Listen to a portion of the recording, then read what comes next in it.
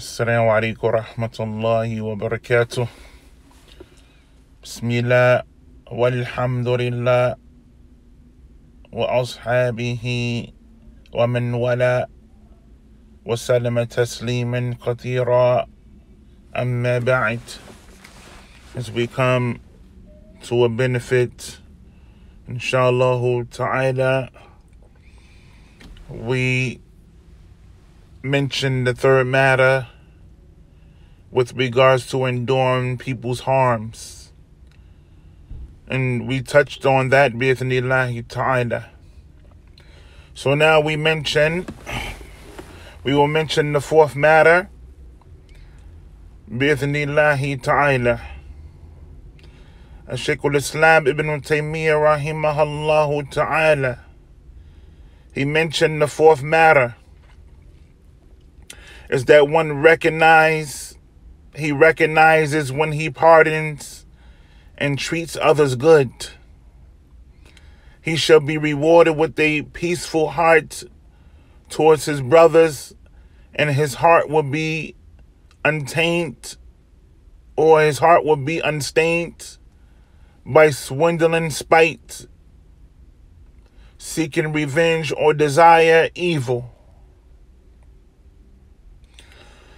He will obtain the sweetness of parting. This person, the fourth matter, Ya ayyuhannas. This person, he will obtain the sweetness of pardoning that exceeds his delight and benefit worldly and in the hereafter. It will benefit this person in his in his worldly life and as well as the hereafter, more than the benefit achieved by revenge many times over. This falls under the statement of Allah Azza wa Jal. As a result, as a result, he will become beloved by Allah subhanahu wa ta'ala. The person who forgives, the person who pardons, the person who overlooks.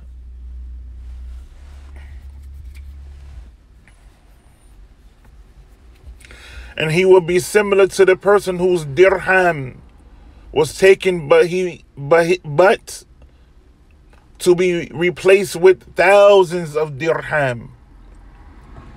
His dirham was taken. This individual his honor was yani his honor was was being his honor was taken.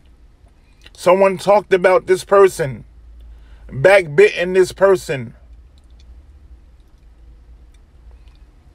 But what did this person, this Muslim, he does? That this person he overlooks. This is a delight of the heart.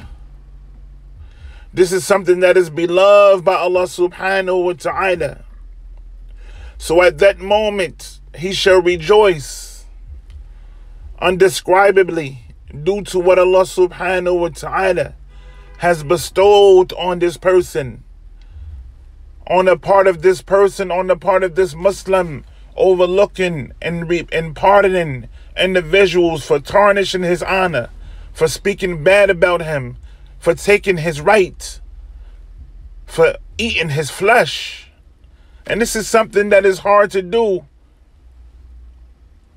But the person that has this kind of patience, he is seeking nearness to Allah the reward from Allah subhanahu wa ta'ala.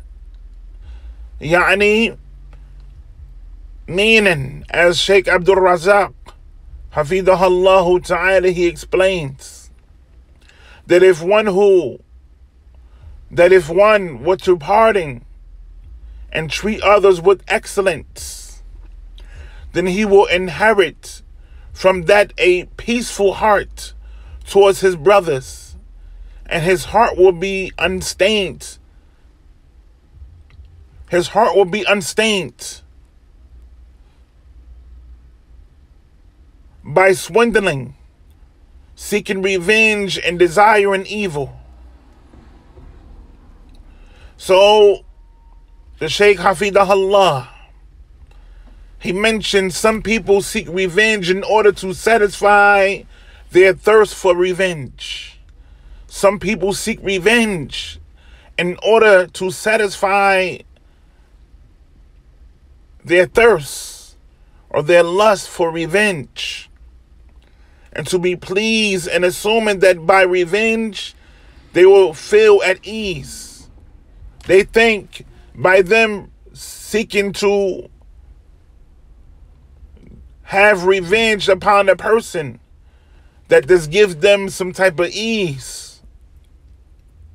And you find from amongst individuals that yani by them harming the person this brings about some status upon that person. That you find from amongst individuals in the hood that they seek retaliation that these individuals seek retaliation and by them doing so this gives the, this give them some type of status some type of reputation some type of rep- reputation. Some type of status. They are feeling themselves. When they harm a person or kill a person or beat a person, this gives them some type of status or they feel like they're on top of the world wa billah. So the Shaykh Hafidahallahu Ta'ala he mentions some people seek revenge in order to satisfy their thirst for revenge and to be pleased and assuming that by revenge they will feel at ease. ولكن يا أيها الناس the matter is the exact opposite. As the author rahimahullah ta'ala Ibn Taymiyyah rahimahullah ta'ala he mentions he explained ease is achieved in pardoning. That yani ease is achieved by overlooking and pardoning the and pardon an individual. So the person e the person's ease and delight in this era or this area or in pardoning. Pardoning increases the servant in honor. Pardon increases the servant in dignity. And but you know the street code they you know when you don't seek revenge and you just let it go. They look down upon you. They say, "Oh, you's a you's a you's a sucker," or you gonna let this person do this to you? You gonna let that person get over on you? Wa'iyadhu billah. Some might think that letting someone's go, letting some some people, as I mentioned, some may think that letting someone go unpunished is a form of humiliation or is a form of weakness. Yet it only increases him in honor, ease, and joy, and a friendly atmosphere. He should realize this fact because when he pardons, he becomes pleased, and his chest is unpa- and his chest is unimpaired by spite or hatred and envy. ولكن يا أيها الناس, but rather he pardons, seeks what is with Allah subhanahu wa ta'ala. He's seeking the reward of Allah Azza wa Jal, and his heart will be at ease. This matter has a tremendous status if the servant is granted success to experience this, to experience this ease, this tranquility. And by Allah's permission, he will be aided by having patience with people's harm. Allahu Akbar. هذا يعني الدين يسرى that the deen is easy يا أيها الناس subhanallah how beautiful that this religion is and it teaches us to endure the people's harm practicing the religion of Allah subhanahu wa ta'ala. It teaches us to endure what the people say about us, to endure hardships, trials, and tribulations, and to be patient upon this matter. And so we mentioned the fifth point, Bithnillahi Kareem. Shaykh al-Islam Ibn, Ibn Taymiyyah rahimahullah, he mentions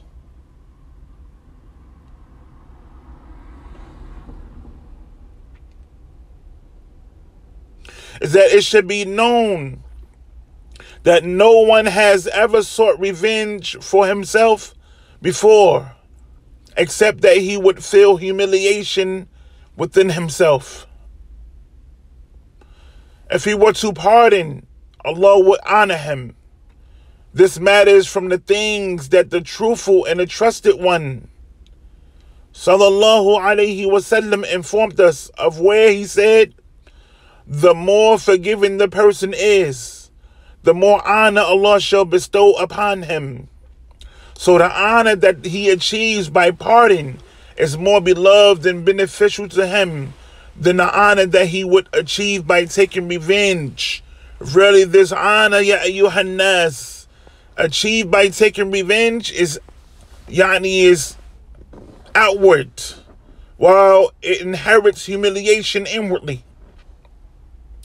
Yet pardoning brings humi- humility inwardly, while inheriting honor inwardly and outwardly. Yet, I'm gonna mention it, mention it again. Say it again. I'm gonna say this again. Ya ayyuhannas. Yet pardoning, it brings humility. It brings humility. It brings humility inwardly while inheriting honor inwardly and outwardly. Allahu Akbar.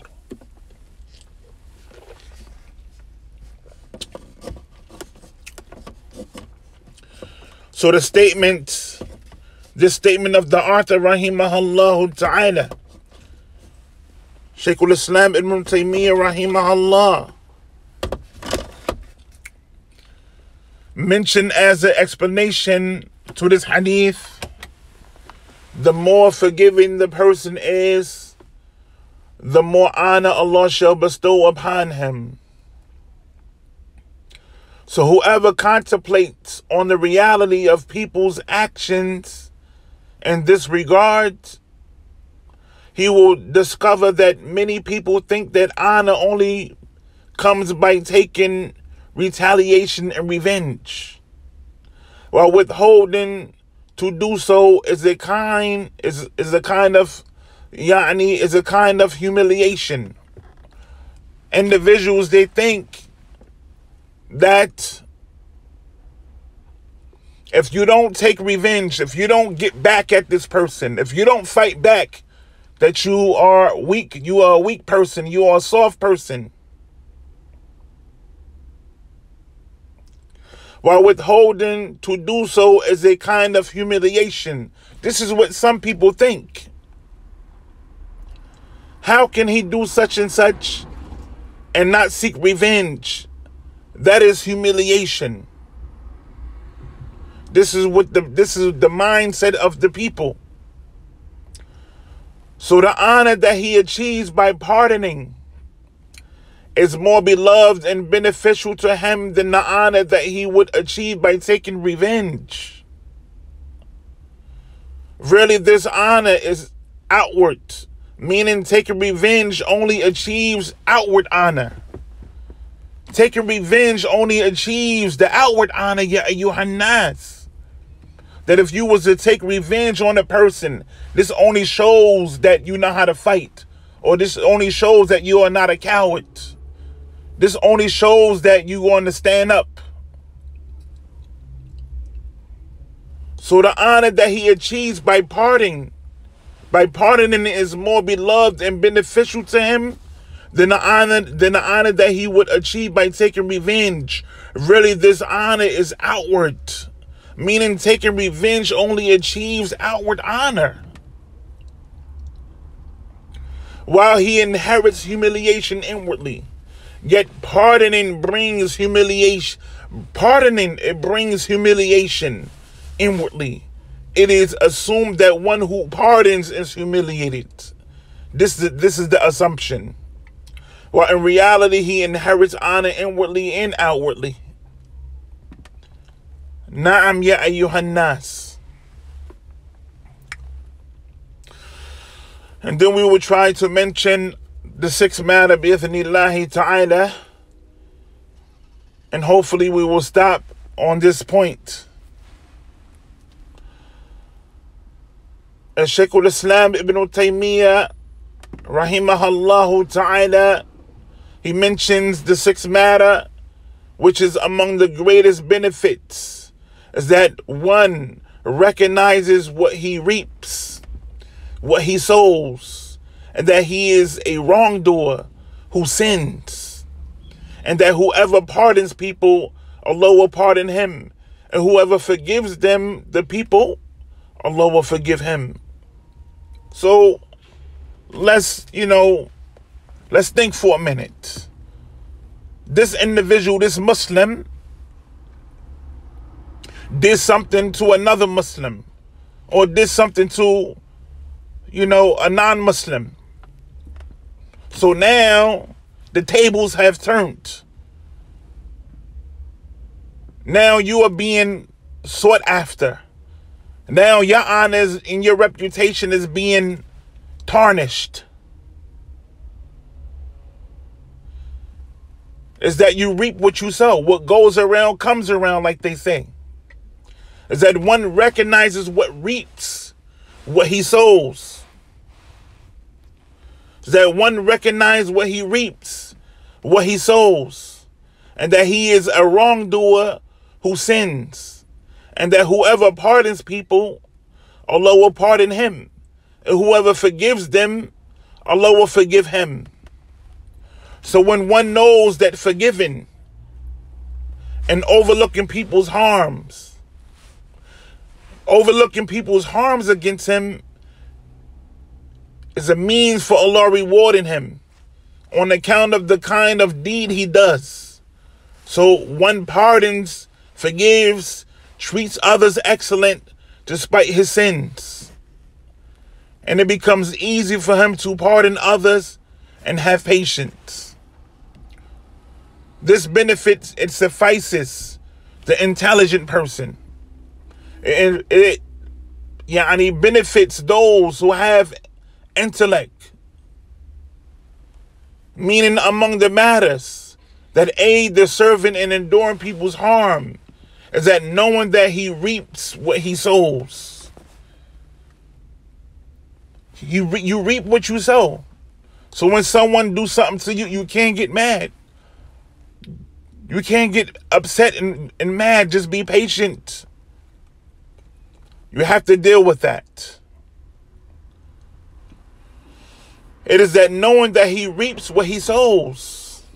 So if you pardon the people, Allah will pardon you for your sins and for your neg- for your ne- neglectfulness, for your neglectfulness of Allah's rights over you, and He will pardon you due to your forgiving, due to your forgiving attitude.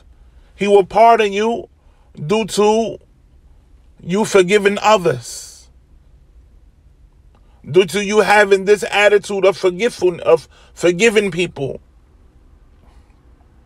so when you pardon his servants for their harms towards you, seeking what is with Allah of rewards, ya ayyuhan nas, he will reward you based on the type of deed you have done.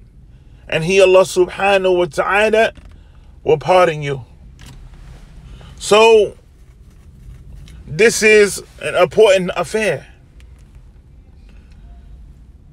When you do something to somebody, it's okay for you to do it. Now, when someone does it back to you, you want to feel some kind of way.